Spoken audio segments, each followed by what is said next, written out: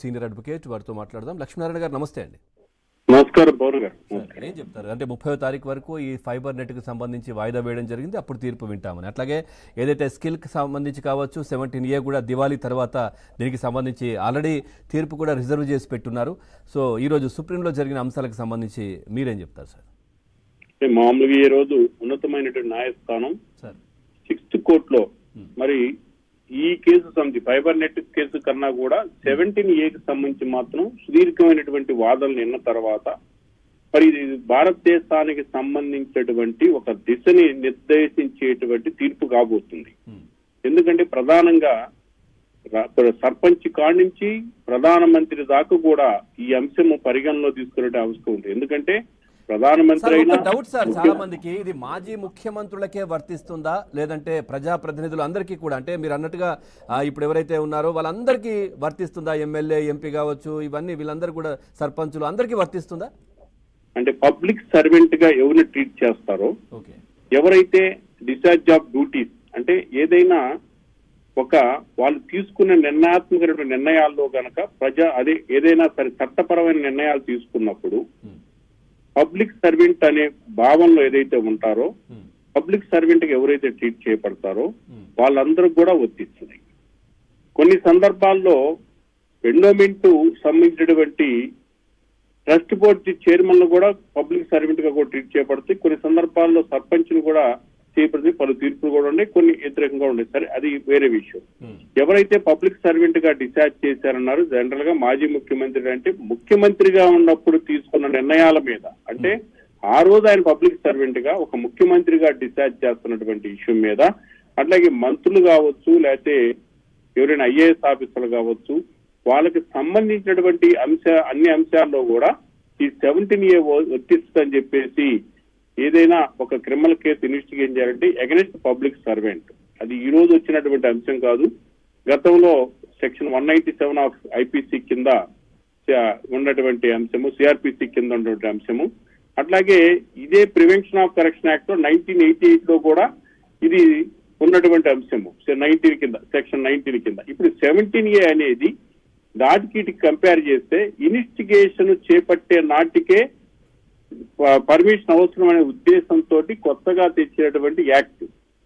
ఈ యాక్ట్ ప్రకారం compulsory permission అవసరం అని చెప్పేసి మన వాదనలు వినిపించడం జరిగింది. ఆ దిశలో మరి నవంబరు అంటే దీపావళి తర్వాత తీర్పు వెల్లడిస్తామని చెప్పేసి కోర్టు ప్రొసీడింగ్స్ బిగిన్ అయినప్పుడే అంటే సిద్ధార్థ లోద్రా గారు ఆయన కేసు వాదనలకి బిగిన్ అయినప్పుడే కోర్టే ఈ కేసు సంబంధించి మేము సుదీర్ఘమైనటువంటి తీర్పు ఇవ్వాల్సిన ఆవశ్యకత ఉంది గనక మరి దీపావళి తర్వాత మేము నిర్ణయిస్తాము అనే నిర్ణయాన్ని తెలియజేస్తామని చెప్పేసి స్పష్టంగా చెప్పడం జరిగింది. ఇక రెండో అంశం ఫైబర్ నెట్ కేసు సంబంధించి అంత వాదనలు కూడా జరగకపోవటం. దానికి సంబంధించి మరి నవంబర్ ముప్పై తారీఖున మరి వాయిదా వేయటం. అయితే గతంలో ఇదే కేసు వాదనలకు వచ్చినప్పుడు ఏదైతే వారు అంటే ప్రభుత్వం తరపున అప్పినటువంటి వారు కోర్టు ముందు మేము ఎలాంటి కోర్సు స్టెప్ తీసుకోము చంద్రబాబు నాయుడు గారి మీద హామీ ఇచ్చారో దాన్నే పరిగణలో తీసుకొని మళ్ళీ దాన్నే మళ్ళీ కంటిన్యూ చేస్తూ మళ్ళీ వాయిదాన్ని నవంబర్ ముప్పై తారీఖున వేయడం జరిగింది. తర్వాత సార్ చాలా మంది డౌట్ ఒకటి. ఇరవై ఎనిమిది వరకు అంటే నాలుగు వారాల మధ్యంతర బెయిల్ మీద ఉన్నారు కదా. సో ఇప్పుడు ఈ ముప్పైవ తారీఖు అంటే ముప్పైవ తారీఖు వరకు కూడా అదుపులోకి తీసుకోవడానికి లేదా? లేదంటే ట్వంటీ ఎయిత్ నాడు ఖచ్చితంగా ఒకవేళ దీనికి సంబంధించి ఏమి తేలకపోతే రిపోర్ట్ చేయాల్సిందేనా? అసలు ఆ కన్స్కి ఈ కేసుకు సంబంధం ఓకే. సెవెంటీన్ ఏ అనేది అది క్వాష్ పిటిషన్ బాబు గారు మధ్యంత ఉత్తర్వులు ఇచ్చినటువంటి అంశం ఏదైతే ఉందో అది మన హైకోర్టులో బెయిల్ పిటిషన్లో ఇచ్చినటువంటి మధ్యంతర ఉత్తర్వులు.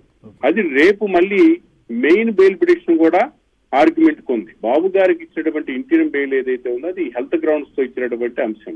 మెయిన్ బెయిల్ పిటిషన్ రేపు వాదనకు ఉంది రేపు బెయిల్ రేపు కనుక మెయిన్ బెయిల్ బెయిల్ పిటిషన్ కనుక బాబు గారికి కనుక పూర్తి స్థాయిలో ఇచ్చేస్తే మొత్తం పూర్తి స్థాయిలో చంద్రబాబు నాయుడు గారికి పూర్తి స్థాయిలో ఇక లోపలికి పోవటం కానీ జైలుని అథారిటీని సంప్రదించడం కానీ అక్కడ వెళ్ళటం అనేది అంశమే ఉత్పన్నం కాదు.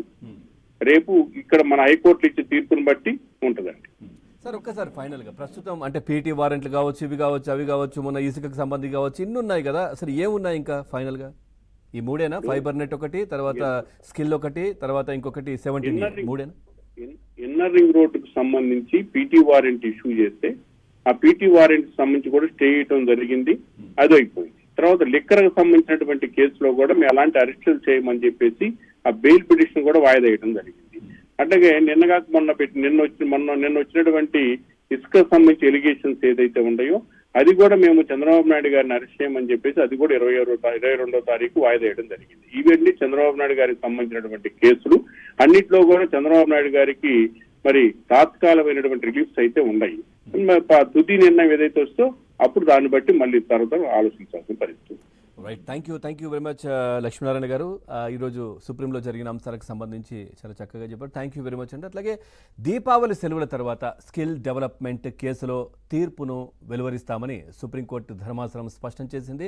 ఇటు ఫైబర్ నెట్ కేసులో ముందస్తు బెయిల్ పిటిషన్పై విచారణ జరిపిన జస్టిస్ అనిరుద్ధ్ బోస్ జస్ బేలా త్రివేది ధర్మాసనం విచారణను నవంబర్ ముప్పైకి వాయిదా వేసింది. ఇక స్కిల్ డెవలప్మెంట్ కేసును విచారించిన ఏ ధర్మాసనం తీర్పును రిజర్వ్ చేసింది? దీంతో దీపావళి తర్వాత స్కిల్ డెవలప్మెంట్ కేసులో తీర్పు వెలువడనుంది. ఈ తీర్పు వెలువడిన తర్వాత ఆ అనిరుద్ధ్ బోస్ బేలా త్రివేది ధర్మాసనం ఫైబర్నెట్ కేసును విచారించనున్నట్టుగా కూడా తెలుసు